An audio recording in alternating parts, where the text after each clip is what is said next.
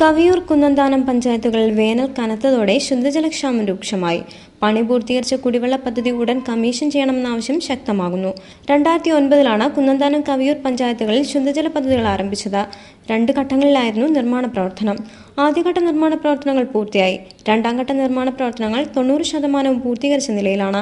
എന്നാൽ കുടിവെള്ള പദ്ധതിയുടെ ഉദ്ഘാടനം നടത്തുന്നതിന് ബന്ധപ്പെട്ട വകുപ്പ് ഉദ്യോഗസ്ഥർ തയ്യാറാകുന്നില്ലെന്ന ആക്ഷേപം ഉയർന്നു ജനങ്ങളുടെയും പഞ്ചായത്ത് അധികൃതരുടെയും ഭാഗത്തു നിന്ന് സമ്മർദ്ദം ശക്തമായതോടെ ഉദ്ഘാടനത്തിനു മുമ്പ് പമ്പിംഗ് ആരംഭിക്കുന്നതിന് വാട്ടർ അതോറിറ്റി നടപടികൾ സ്വീകരിച്ചതായി കവിയൂർ ഗ്രാമപഞ്ചായത്ത് പ്രസിഡന്റ് ടി കെ സജീവ് പറഞ്ഞു. ആദ്യഘട്ട പദ്ധതി എന്ന നിലയിൽ കവിയൂർ പഞ്ചായത്തിലെ ഇടശ്ശേരിക്കയത്തിൽ നിന്ന് കിണർ നിർമ്മിച്ച് ഗണപതി കുന്നിൽ പഞ്ചായത്ത് വാങ്ങി നൽകിയ സ്ഥലത്ത് ട്രീറ്റ്മെന്റ് പ്ലാന്റും അനുബന്ധ സൗകര്യങ്ങളും നിർമ്മിച്ച് ഇലവനാമലയിലുള്ള ടാങ്കിലേക്ക് നിലവിലുള്ള ടാങ്കിലേക്ക് വെള്ളം പമ്പ് ചെയ്യുന്ന പദ്ധതിയാണ് ഫസ്റ്റ് ഫേസിലുള്ളത്.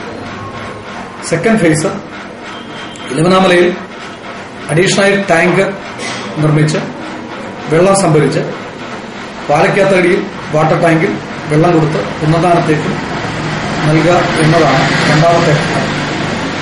അതിൽ ആദ്യത്തെ ഘട്ടത്തെ ഘട്ടത്തിലെ നിർമ്മാണ പ്രവർത്തനം പൂർത്തീകരിച്ചു കഴിഞ്ഞു. കിണർ നിർമ്മിച്ച് മോട്ടോർ സ്ഥാപിച്ച് ട്രീറ്റ്മെന്റ് പ്ലാന്റ് പ്രവർത്തനക്ഷമമായി പൈപ്പ് സ്ഥാപിച്ച് ഇലവനാമലയിലുള്ള നിലവിലുള്ള രണ്ട് ടാങ്കിലും വെള്ളം എത്താനുള്ള സൗകര്യം കേരളത്തിലെ വാട്ടർ അതോറിറ്റിയുടെ പ്രോജക്ട് ഡിപ്പാർട്ട്മെന്റ് പൂർത്തീകരിച്ചു. അതിന്റെ ട്രയൽ റണ്ണും പൂർത്തീകരിച്ചു.